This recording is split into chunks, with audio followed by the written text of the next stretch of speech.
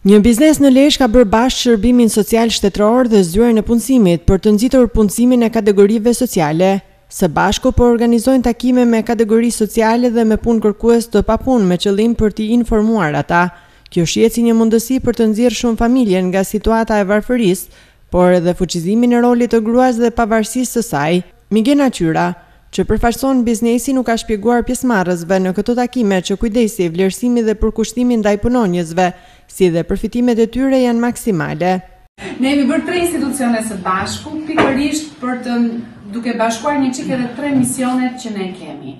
Ne si biznes privat duam që të rrisim forcën punëtore dhe këtë forcë punëtore nuk duam ta marrim as nga jashtë vendit, as nga jashtë Lezhës. Mendojmë që ka forcë të mjaftueshme punëtore brenda le të themi territorit të Lezhës dhe në këtë formë pse jo le të ndihmojmë edhe në pjesën qoftë edhe në daljen nga problematikat e varfërisë, edhe në rritjen e e të pasuruarit në një profesion.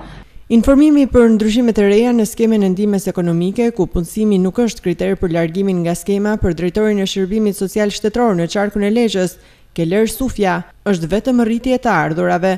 Sipas tij, ka edhe disa ndryshime të tjera, ku një familje nuk mund të qëndrojë më shumë se pesë vite në këtë skemë, Ndaj punësimi është forma më e mirë për të fituar akoma më shumë. A mendoni se vendosim ne kush del dhe kush nuk del? Bëhen pesë vjet se sistemi elektronik i përllogarit edhe edhe mbaron procesi i përfitimit. Ama, nëse ke më pak, nëse ke fitu, je shpallë përfitues para dy mujsh, para gjashtë mujsh, para një viti. Ti vazhdon rri në skemë.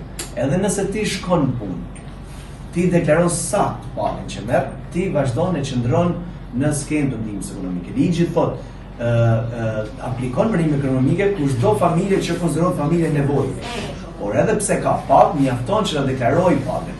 Përgjegjësja e Zyrës Vendore të Punësimit në Lezhë, zonja Mimoza Prenga, ka kërkuar rol më të madh tek gratë, që sipas saj do të përkthehej në ekonomi më të mirë për familjet e tyre, Gra më të forta e pavarësi më të madhe për to.